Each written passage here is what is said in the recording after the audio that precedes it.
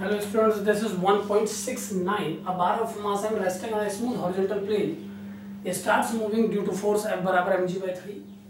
F equal to mg by 3 of constant magnitude. Uh, in the process of its rectilinear motion, the angle alpha between the direction of force and horizontal vary as alpha equal to a into s.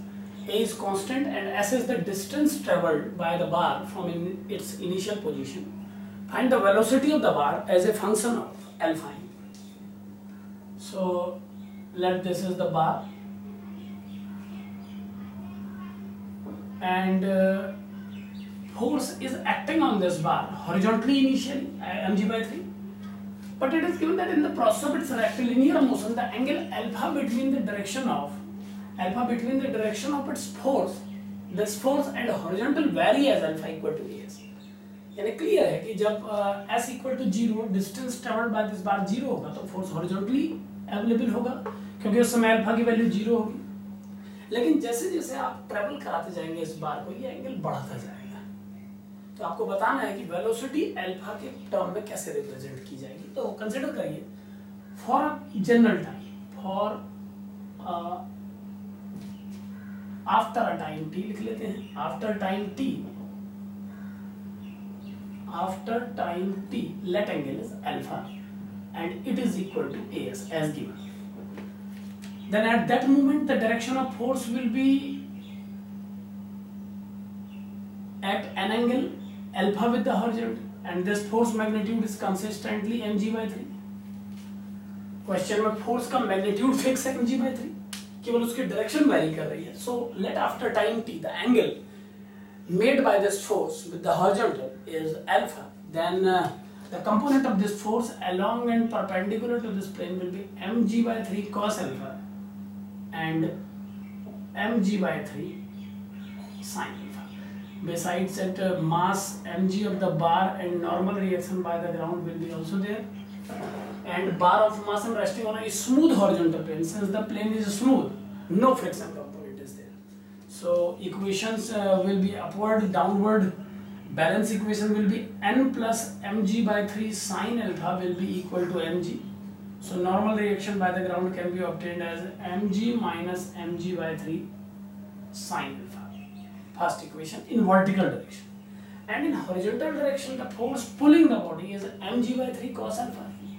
The force which is pulling the body is mg by 3 cos alpha. So force pulling the body is mg by 3 cos alpha and this gives mass into acceleration to the body since a is used as a constant so again acceleration is represented by the term omega जैसा हमने पिछले problem में किया so mg by 3 cos alpha is m omega cancelling m omega will be equal to g by 3 cos alpha and as given alpha is as so omega is g by 3 cos a into s this is the expression relation between acceleration and distance now we know that acceleration can be written as dv by dt is g by 3 cos alpha s and this by chain rule can be written as dv by ds into ds by dt equal to g by 3 cos alpha s एक बार फिर ध्यान दें ये equations इस equation की कोई requirement नहीं है बट ठीक है जब हम जनरल क्वेरी करते हैं तो हर डायरेक्शंस में इक्वेशन से अपनी प्रैक्टिस को स्ट्रॉन्ग करते हैं so if there would be a second part of the problem that what is the normal reaction offered by the ground at a particular instant and what is its relation with angle with angle the variation of angle will make any change on n or not तो हम इस तरीके से explain करते हैं कि there will be a change n will, n will also depend on alpha because it means as the particle as the body will move in forward direction as much as the distance the body will cover the value of n will decrease successively so ये relation हमें बताता है कि alpha n से connected बाकी question इस समय जो पुटअप किया गया है वो ये है कि आपको वेलोसिटी को अल्फ़ा के टर्म में रिप्रेजेंट करना है so the force which is acting along the direction of motion is more important for solving the problem mg by 3 cos alpha is the force and this will give m into acceleration so acceleration will be g by 3 cos alpha g by 3 cos as now omega is dv by dt and dv by dt can be taken as dv by ds into ds by dt this is velocity so v dv is g by 3 cos alpha s into ds. Now integrate both the sides. v square by 2 will become g by 3 cos g by 3 and integration of cos alpha s ds. Uh, limits for velocity will be 0 to v. So v square by 2 equal to g by 3 and cos alpha s integration is sine alpha s by alpha sine as. This is a I think. According to given problem alpha is as. So sorry it is as. Constant name is not alpha it is a. So cos as is this and this is cosine as by a and now put the limits it is from 0 to s so v square by 2 equal to g by 3 a and sine as minus sine g.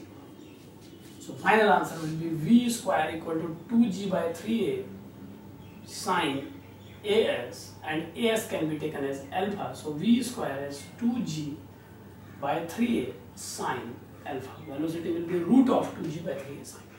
So this is the relation between velocity and velocity and uh, angle of uh, angle between the force of application, angle between the direction of force of application and horizontal. So so, इस तरीके से हम इस problem को solve कर सकते हैं। हमें वेलोसिटी और अल्फ़ा के बीच में कनेक्टिविटी निकालनी थी क्योंकि ये two G by three and root sine कैसे किया आप ध्यान से देखें सबसे पहले हमने उस फोर्स को कंसिडर किया जो मोशन के डायरेक्शन में है और उससे एक्सेलरेशन फाइंड आउट किया। और फिर बाय चेन रूल हमने एक्सेलरेशन से वेलोसिटी और एस के बीच में रिलेशन किया। you?